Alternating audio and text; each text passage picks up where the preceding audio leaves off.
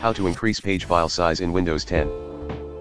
On Windows 10, the page file is a hidden file on the drive that works as memory, and it acts as an overflow of the system memory, which holds data for apps currently running on the computer. If you increase the size of the paging file, it can help boost system performance. To modify the page file to increase performance on Windows 10, follow these steps. Open Settings. Click on System. Click on About. Under the Related Settings section, click the Advanced System Settings option. Click the Advanced tab. Under the Performance section, click the Settings button. Click the Advanced tab. Under the Virtual Memory section, click the Change button. Clear the Automatically Manage Paging File Size for all drives option. Select the Custom Size option. Specify the initial and maximum size for the paging file in megabytes.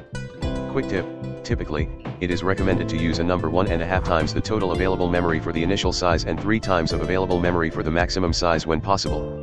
In my case, my computer total memory is 8 GB, so the initial size will be 12,000 and maximum size will be 24,000 MB. Click the Set button. Click the OK button.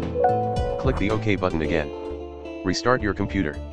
After you complete the steps, the device will restart, and you should notice a performance boost while using apps.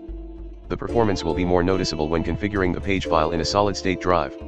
If the new settings are causing issues or performance does not improve, you can always revert the changes with the same instructions by turning on the automatically manage paging file size for all drives option and system managed size option. This covers how to increase page file size in Windows 10. If you have a question to ask, leave it in the comments below and I'll do my best to answer it. Thank you very much for watching and have a great day.